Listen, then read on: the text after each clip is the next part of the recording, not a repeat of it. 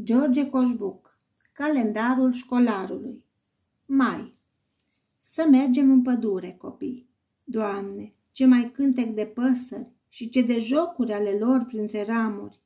În aprilie își făceau cuiburi, dar acum au pui în ele.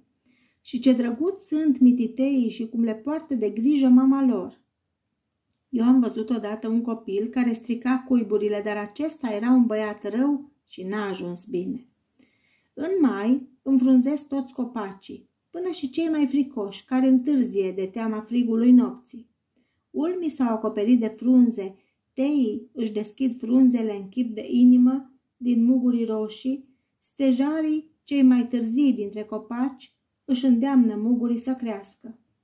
Pe câmp vezi în flori toate colorile, nu numai albe și galbene ca în martie și aprilie. Acum cele mai multe sunt albastre. Cele roșii au să vină în iunie. Nu te poți sătura privind frumusețea lor.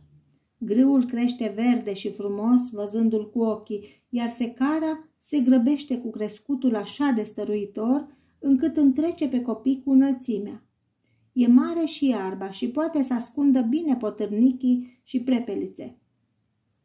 Pitpalacul, pasărea care se întoarce cea din urmă la noi, din țările calde, își strigă toată ziua numele pe câmp, cum și îl strigă cucul în aprilie.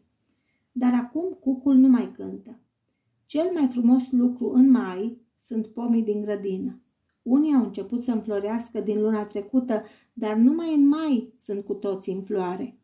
Și merii, și perii, și prunii, și mai ales cireșii, toți au avut flori frumoase.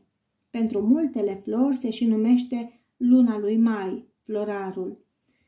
Tot felul de fluturi zboară acum prin grădini, pe câmp, pe lângă ape. Vița de vie începe să acopere cu latele ei frunze aracii goi.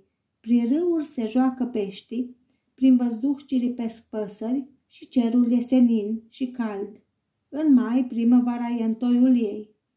Să mergem în pădure, copii, să ne jucăm jocurile noastre și să cântăm cântece din carte să fim veseli și să mulțumim lui Dumnezeu pentru darurile Lui.